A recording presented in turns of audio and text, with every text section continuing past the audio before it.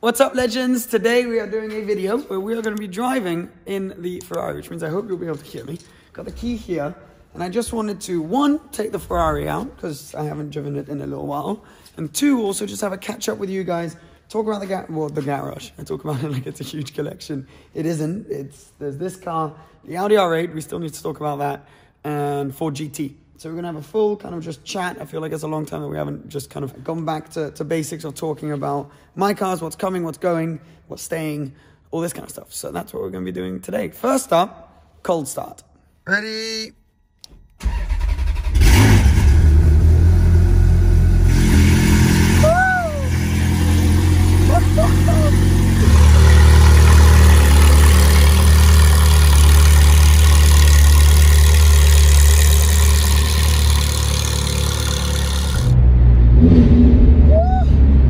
Okay, so first things first, let's let the engine warm up a bit.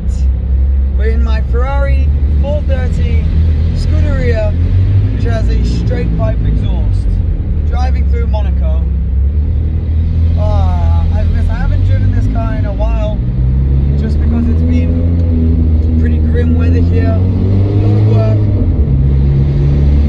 God, when it's cold and you're in a tunnel, that's second gear, two and a half thousand RPM. I can't push it now because the engine's really cold. We have a nice long tunnel, but.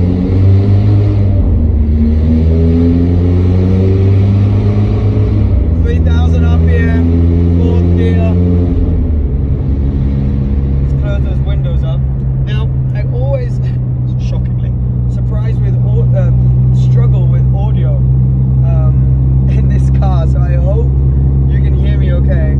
Um, I've got a microphone on, which actually I'm going to put between my legs here, so you guys can hopefully hear me okay. But today, I, I, yeah, I just wanted to talk about a few different things, mainly because I got a call from what's called the Ford GT Concierge. So if you haven't um, been kind of following the story, I got accepted um, for a slot for the uh, 2021 Ford GT. I applied for a Heritage Edition of one of those, which I did not get, but I did get accepted for a Carbon Edition. Now that means it's a um, slightly lighter version of the car. It's got carbon stripes, carbon around the interior, just carbon kind of all over the place. Um, however, it means it costs quite a bit more. So this is kind of what I wanted to talk to you guys about. If you think it's worth going for a carbon edition, uh, to give you an idea, the list price of the car in Swiss francs is around 660,000, I believe, and the carbon edition is an extra 96,000 um, Swiss francs. I believe that's what it was. So it's a lot of extra money to put in, but it will be a much more rare car. I believe the numbers are 10 or 20 in Europe a year. So not total, but just a year, that's how many they're going to be producing. With mine being a 2021 model, looking for kind of summer next year um, delivery if I were to choose to go for it, which I'm still debating. So that is another question for you guys. Is it worth it for that much money? What would you buy for that much? I just want to have a very kind of open conversation, show give you guys all the numbers, um, and yeah, just be completely open with you guys about about that. I also got sent a configurator.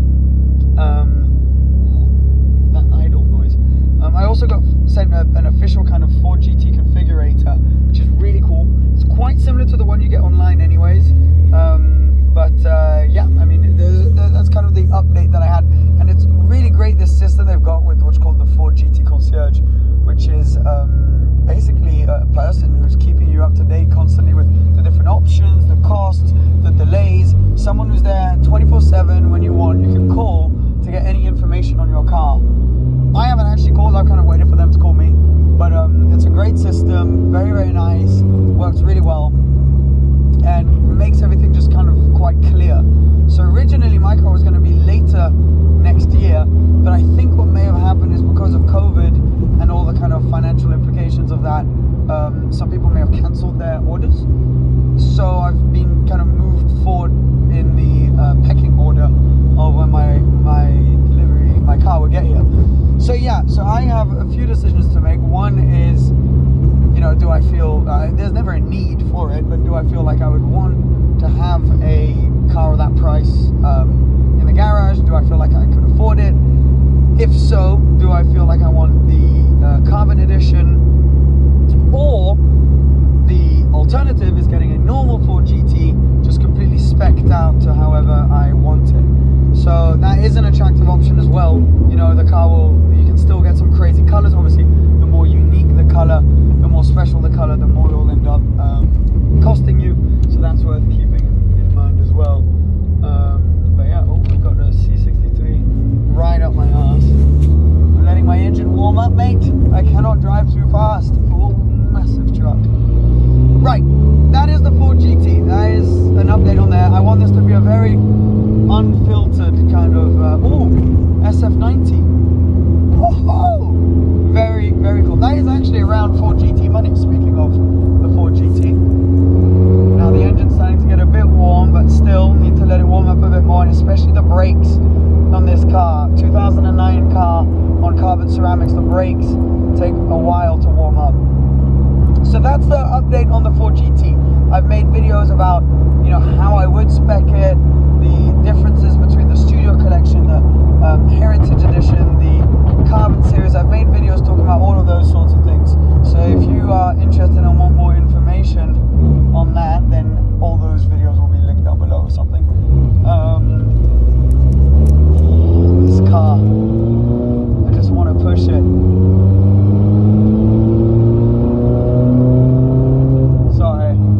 I told myself I would keep talking throughout this video, but it's so hard. I keep, by the way, if you're wondering um, why the gear shift sounds so slow, first of all, it's a single clutch gearbox, but I also lift when I'm not really on it.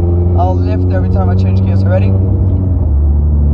And it's just easier on the clutch, easier on the gearbox on these F1 F1 cars. So, that is the Ford GT.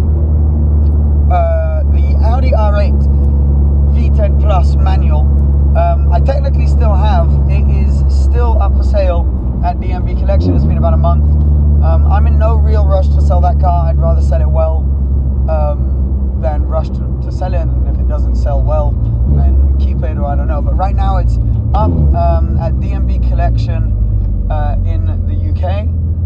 Ooh, we've got a driving uh, driving school car in front of us. They're going to be feeling a bit of pressure with me behind and the C62 behind me. Um, so yeah, Audi R8 is still up there. It's been completely unwrapped. Still got the exhaust, still got the steering wheel, all, the, all that good stuff. So all the links for that will be down below. No update really coming from there. Um, and then this car, the 430 Scuderia, which I am completely in love with. But sadly, with like winter, even though it's a very mild winter we have here, I haven't been able to drive it as much as I like recently. And I have just, I don't want to sell it. I don't want to replace it because I love this car to bits. But I've just started toying with the idea. Oh, there goes the C63. I've just started toying with the idea of what if I were to replace this car, what would I replace it with? And uh, the one car that I've kind of just been, yeah, briefly toying with the idea, the two cars are either a Porsche GT3 RS 991 first generation, so 991.1, or a Porsche 991.2 Turbo S. Uh, those are the, my two kind of like soft spot cars for now, within a similar price range. The other car that I'm like that I love is the Lamborghini Aventador, but that's a different price range, different running cost, different insurance cost, all that stuff. So that I'm not so sure about right now. But those, I, there you go. Again, just being completely open with you guys. Um, wanted to see what your thoughts and opinions are on that. Uh, the engine's getting a bit warm now, so we can give you a little.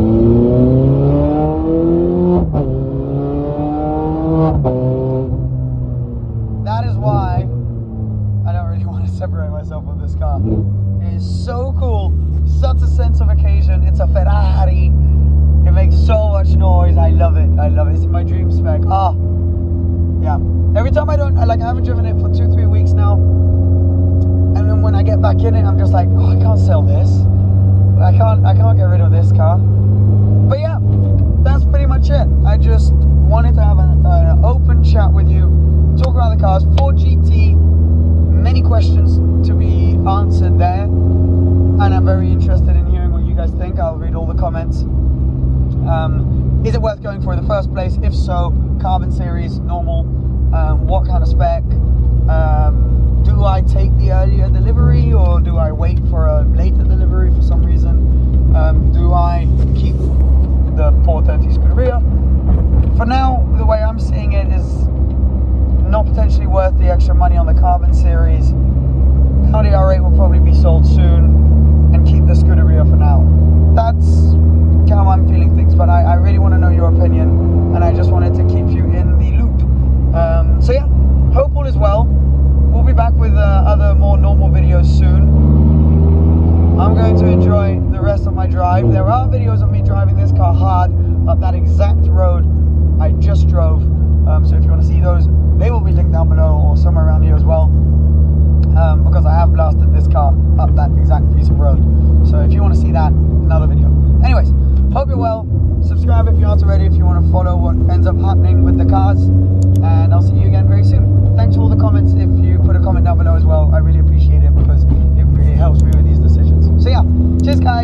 Bye.